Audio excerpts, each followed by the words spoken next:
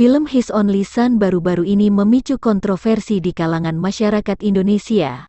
Alurnya mengambil kisah Abraham yang tercantum di dalam Alkitab, tentang ia yang diuji kesabarannya karena diminta Tuhan untuk mengorbankan putranya Ishak. Karena hal tersebut, His Only Son memicu pro dan kontra.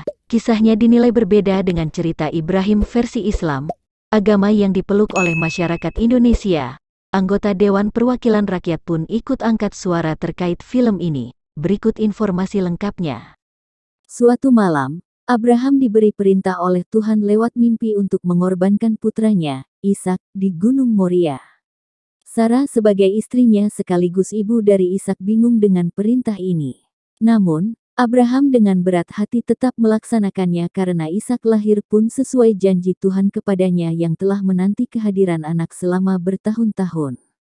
Berikut daftar pemeran film His Only Son yang disutradarai oleh David Helling yang mulai tayang di bioskop Indonesia pada tanggal 30 Agustus ini. Nicholas Mowawat sebagai Abraham, Sarah Seyed sebagai Sarah, Edaan Moskowitz sebagai Isa, Daniel Da Silva sebagai The Lord, Orestes Sophocleus sebagai Roman Centurion, Scott Cooper sebagai The Centurion, Luis Fernandez Gil sebagai Eliezer, Otavio Tadei sebagai Kelzar, Nathan Tetreault sebagai Komrade, Eta Pico sebagai Hagar, Steve Judkins sebagai Harlot, Nathan Tetreault sebagai Komrade. Melalui laman resmi DPR RI, Wakil Ketua Komisi 8 DPR RI S. Hasan Syazili mengungkapkan keresahannya akan film His Only Son.